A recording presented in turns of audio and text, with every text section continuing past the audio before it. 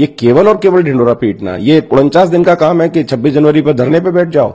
ये उनचास दिन का काम है कि सचिवालय की छत पे खड़े होकर के आप लोगों से मिलो नहीं और आप भाग जाओ।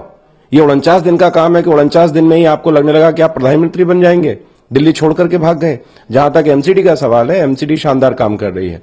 और कूड़ा निकलना, गंदगी होना, ये पूरा रोज का छह घंटे से ज़्यादा कूड़ा कहीं रहता नहीं है। और इसलिए सब घर का कूड़ा निकालते हैं। उसमें बेटर मैनेजमेंट